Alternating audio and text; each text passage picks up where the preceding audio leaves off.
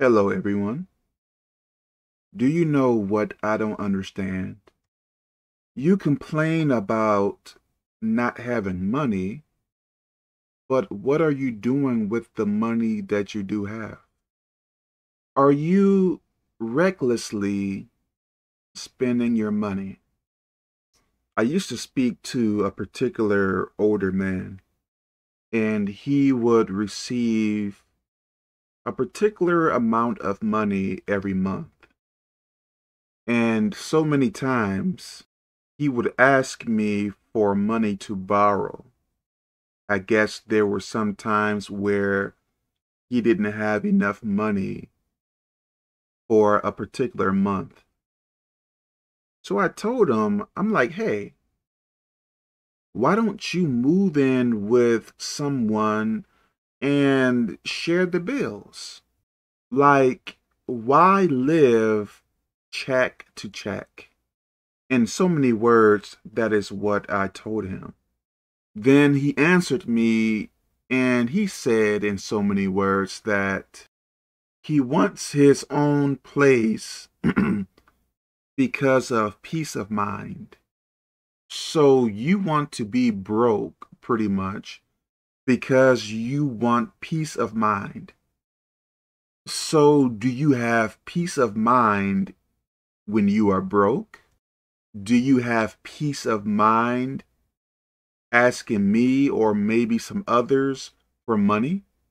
It really doesn't make any sense. Like, for instance, with buying cars. Let's say there is a car that costs $50,000. And inside of your mind, you believe you can afford the payments, the monthly payments on credit. So you are receiving credit to purchase a car. So you have to pay monthly payments. And because of how you structured your life, you pretty much break even every month. But if a really big emergency happens, to where, let's say, there is a hospital bill or something really bad happens, would you have enough money to pay for it? Probably not why not live lower than what your income is? Why are you spending the amount you make plus more at times? Either the amount you make or more than it. Is it like a self esteem problem or issue or something? You want to be seen more than what you really are? It makes no sense. I was listening to a video and I believe certain people in particular races, they can live in groups in a house. Let's say that they can live like two families or more in one house. So let's say there are two or three people that are working. All three can split the bills, you know, rent, food, electricity, so on and so on. So that will leave more money for you. You speak about you are struggling. You say you are so poor. But aren't you doing it to yourself? Look at how you are handling money. You want your own place. You want a very nice car. You want this and you want that and you wonder why you are having such a hard time. Now you are praying to God looking for a way out. How about you learn how to manage money? Stop being so prideful or whatever you call it and live with someone or better yet, three or more people. Stop buying these really expensive cars buy something that you can really, really afford to where you won't go broke at the end of the month. Stop buying these really, really expensive clothes unless you can truly afford it. So if a problem does happen, you will have the money to take care of it. And I think that is the problem with some people. They want to look like they are rich other than building wealth. Not to say that I have a lot of money. What's the point in looking like you have something when you may have certain things, but you are struggling to eat or to pay your bills? It really makes no sense to me. You should not really be living check to check. Oh, Kevin, Uncle Kev, I want my own place. I want my own car. It is okay to have those things if you can afford it. You are not really entitled to have those things. Live in a way where it makes your life easier. If you are making $3,000 a month, why are you spending $3,000 a month? That is not wise. If you are making $3,000 a month, try to only spend 2000 a month or maybe if you can 1500 so the rest you can save it up or if you choose you can use that money to help other people uncle Kev, i don't really want to help people and that is your problem and i believe that is one of the reasons why you are in the predicament that you are in now. You believe the more money you make, you should spend still up to that limit. I mean, at that exact limit. If you are not able to save, probably more than likely, you are spending unwisely.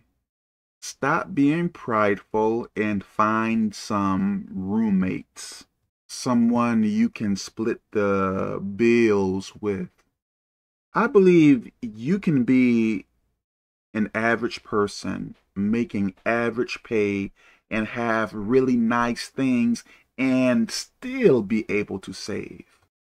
But it depends on how you manage your money, on the way you structure your life.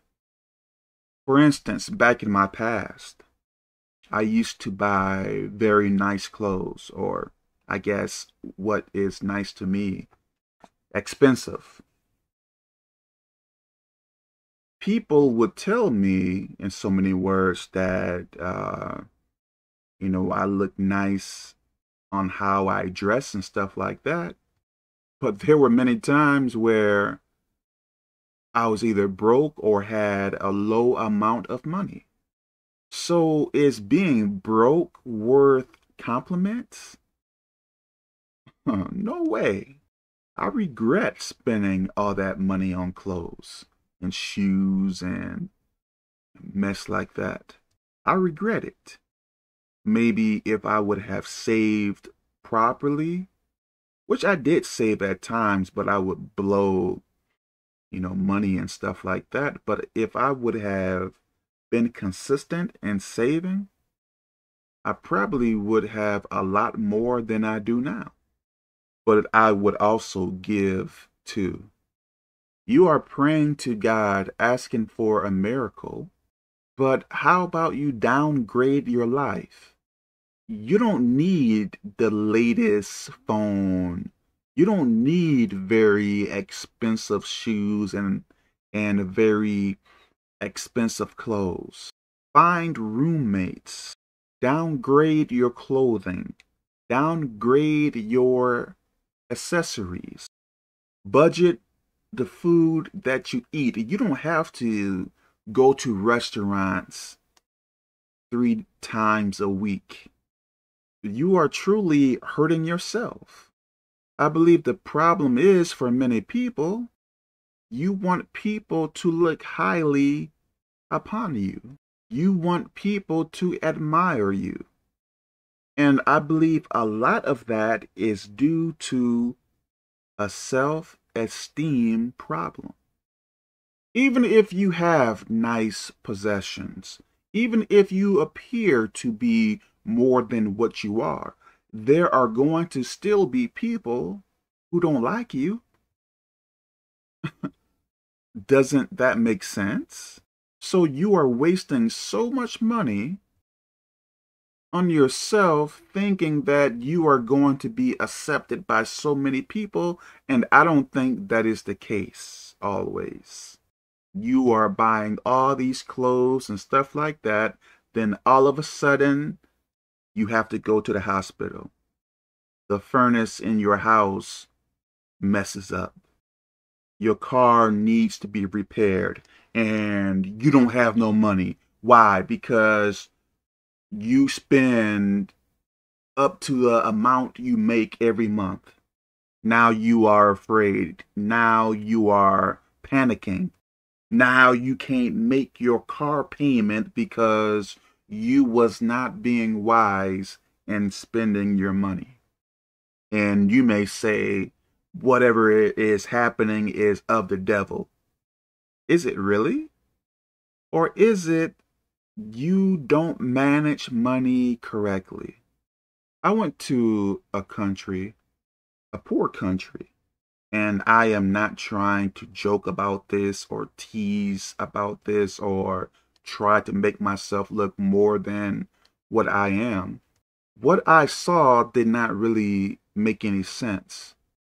I saw very poor people wasting money on very nice looking clothes.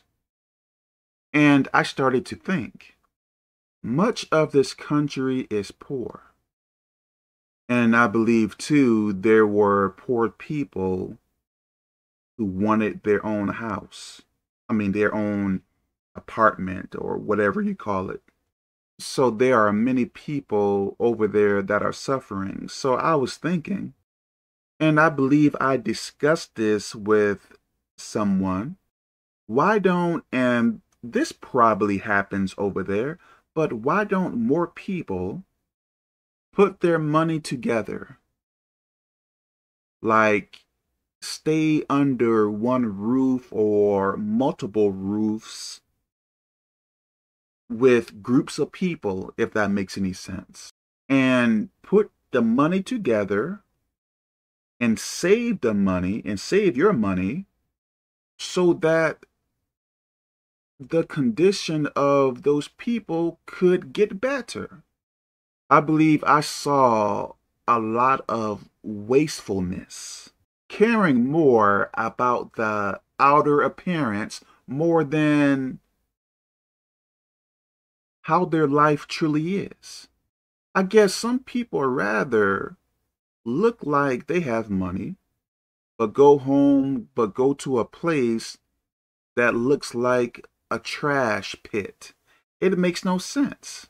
Why not live in that trash pit with many people who are working, who can share who who can share the bills with you so that you can save your money and live in a better place and buy things that is not really going to financially hurt you. Why not downgrade the way you dress? Save that money for something else. I think this is common sense. You want to waste your money, but you think other people should give you money when you are broke. But inside of your closet, you have all these shoes, all these clothes, but you live in a dirt pit. Sometimes you don't even have enough money to eat. I think this is very senseless, and I am not trying to speak poorly about anyone. I am not better than anyone. For instance, I downgraded the way I dress. I don't live all by myself. So there are times where I help people.